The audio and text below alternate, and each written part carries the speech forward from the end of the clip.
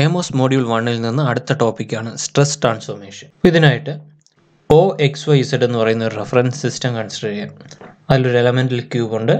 ഇതിൽ ആക്ട് ചെയ്യുന്ന stress components ആണ് ഈ സിഗ്മ ഐ ജെ അതിലൊരു പോയിന്റിലെ സ്ട്രെസ് ആണ് സിഗ്മ ഐ ജെ എന്ന് പറയുന്നത്. സ്ട്രെസ് ടെൻസറായിട്ട് റെപ്രസെന്റ് ചെയ്തിട്ടുണ്ട്. ഇതിൽ ഈ റെഫറൻസ് പ്ലെയിന്റെ ഓറിയന്റേഷന് ചേഞ്ച് വന്നാൽ ഇതിൽ ഓരോ സ്ട്രെസ് കമ്പോണൻസിനും ചേഞ്ചസ് ഉണ്ടാവും. അപ്പോൾ ആ പുതിയൊരു കോർഡിനേറ്റ് സിസ്റ്റം അതായത് ഇത് ഇതൊന്ന് ഇതിലെ ഓരോ പ്ലെയിൻസും ഒന്ന് റൊട്ടേറ്റ് ചെയ്ത് പുതിയൊരു ഓറിയന്റേഷൻ ആയി കഴിഞ്ഞാൽ അതനുസരിച്ച് ഈ സ്ട്രെസ് കമ്പോണൻസിൽ വരുന്ന ചേഞ്ചസ് എന്താണെന്ന് കാണുന്നതിനെയാണ് സ്ട്രെസ് ട്രാൻസ്ഫോർമേഷൻ എന്ന് പറയുന്നത്. ഈ ക്യാപിറ്റൽ എക്സ് വൈ സെഡ് എന്ന് പറയുന്ന ഈ കോർഡിനേറ്റ് സിസ്റ്റത്തിൽ ഓരോ ആക്സിസിനെയും ഒന്ന് റൊട്ടേറ്റ് ചെയ്യുന്നു.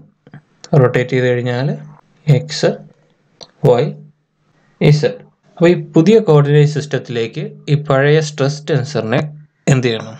ട്രാൻസ്ഫർ ചെയ്യണം. നമ്മളിതിൽ പ്രോബ്ലം എങ്ങനെ ഈസി ആയിട്ട് ചെയ്യാമെന്നുള്ളതാണ് നോക്കുന്നത്. അതിനുവേണ്ടി സ്ട്രെസ് ട്രാൻസ്ഫോർമേഷൻ മെട്രിക്സ് ഡിഫൈൻ ചെയ്യുന്നു. ഈക്വൽ ടു എൻ എന്ന് പറഞ്ഞാൽ ഡയറക്ഷൻ കൊസൈനാണ് കോസ് തീറ്റ ഓഫ് ഏതാണോ ഏത് ഡയറക്ഷനിലാണോ അതായിരിക്കും നമ്മളിവിടെ ഡിഫൈൻ ചെയ്യുന്നത്. അപ്പോൾ ഇതിനകത്ത് ഈസി ആയിട്ട് മനസ്സിലാക്കി വെക്കാൻ വേണ്ടിയുള്ള ട്രിക്കാണ് പറയുന്നത്. ഈ ട്രാൻസ്ഫർമേഷൻ മെട്രിക്സിന്റെ ഫസ്റ്റ് റോ എലമെന്റ് എന്ന് പറഞ്ഞാൽ N capital X small X ഇതിന്റെ മീനിങ് എന്താണ്? ഈ രണ്ട് ആക്സിസിനും ഇടയ്ക്കുള്ള ആംഗിൾ ഇതിനെ തീറ്റ എക്സ് എന്ന് കൊടുത്തു കഴിഞ്ഞാൽ ആ ആംഗിളിന്റെ കൊസൈൻ വാല്യൂ ആണ് എൻ എക്സ് എക്സ് എന്ന് പറയുന്നത്. രണ്ടാമത്തെ element N capital X small Y ഈ ഒരു കോർഡിനേറ്റ് സിസ്റ്റവും ഈ ഒരു ആക്സിസും തമ്മിലുള്ള ഈ ഒരു ആംഗിളിനെയാണ് എൻ എക്സ് വൈ എന്ന് പറയുന്നത്. Last last element N X Z capital എക്സും പുതിയ ഓറിയന്റേഷനായ സ്മോൾ ഇസഡും തമ്മിലുള്ള ആംഗിളിന്റെ വാല്യൂ ആണ്. ആംഗിളിന്റെ കൊസൈൻ വാല്യൂ ആണ്. എൻ എക്സ് ഇസഡ് അതിൽ സെക്കൻഡ് റോയിലേക്ക് വരുമ്പോൾ N Y N Y X capital വൈയും small എക്സും അതായത് പഴയ ഒറിജിനൽ കോർഡിനേറ്റ് സിസ്റ്റമാണ് ഈ ക്യാപിറ്റൽ വൈ ന്യൂ കോർഡിനേറ്റ് സിസ്റ്റമാണ് എക്സ് എന്ന് പറയുന്നത്. അത് തമ്മിലുള്ള ആംഗിളിന്റെ കൊസൈൻ വാല്യൂ രണ്ടാമത്തത് N Y Y original coordinate സിസ്റ്റവും ന്യൂ കോർഡിനേറ്റ് സിസ്റ്റവും തമ്മിലുള്ള ഈ വൈ ആക്സിസിന്റെ ചേഞ്ച് അതുപോലെ അതിന്റെ കൊസൈൻ വാല്യൂ ആണ്. ലാസ്റ്റ് വരുന്ന എൻ വൈ ഇസഡ് ഒറിജിനൽ ആക്സിസും ഇസഡ് ആക്സ് പുതിയ ഇസഡ് ആക്സിസും തമ്മിലുള്ള ആംഗിളിന്റെ കൊസൈൻ വാല്യൂ അടുത്ത ലാസ്റ്റ് ഇതിൽ വരുന്നത് എൻ ഇസഡ് എക്സ് ഈ ഒരു ആംഗിളാണ് N Z X N Z Y ഈ ഈ ഒരു ആംഗിളിന്റെ ആംഗിളിന്റെ കൊസൈൻ വാല്യൂ അടുത്തത് എൻ ഇസഡ് ഇസഡ് ഈ ഒരു ആംഗിളിന്റെ കൊസൈൻ വാല്യൂ സാധാരണ കേസിൽ ഏതെങ്കിലും ഒരു ആക്സിസ് ഫിക്സ് ചെയ്യുകയും ബാക്കി ആക്സിസ് മാത്രമായിരിക്കും റൊട്ടേറ്റ് ചെയ്യുന്നത്. അപ്പോൾ ഈ ഒരു കേസിൽ അസ്യൂം ചെയ്യാണ് എക്സ് വൈ ഇസഡ് ഒരു എക്സാമ്പിൾ കൺസിഡർ ചെയ്യാണ്. Capital X and Y coordinates turn through forty five degree anticlockwise direction and axis is unchanged ഇവിടെ എക്സ് വൈ ഇസഡ് ആക്സിസിൽ എക്സും വൈയും മാത്രം എബൌട്ട് ഇസഡ് ആക്സിസ് ഒന്ന് ടേൺ ചെയ്യാണ്. അപ്പോഴേക്കും ഈ ഒരു കോർഡിനേറ്റ് സിസ്റ്റം എന്ന് പറയുന്നത് ടേൺ ചെയ്ത്. ഇത് പുതിയ എക്സും പുതിയ വൈയും ആവും. ഇത് രണ്ടും റൊട്ടേറ്റ് ചെയ്ത് ഫോർട്ടി ഫൈവ് ഡിഗ്രി ആണ്. അങ്ങനെയാണെങ്കിൽ സ്ട്രെസ് ട്രാൻസ്ഫോർമേഷൻ മെട്രിക്സ് എന്ന് പറയുന്നത് ടി ഈക്വൽ ടു ഫസ്റ്റ് വരുന്ന ഏതാണ്?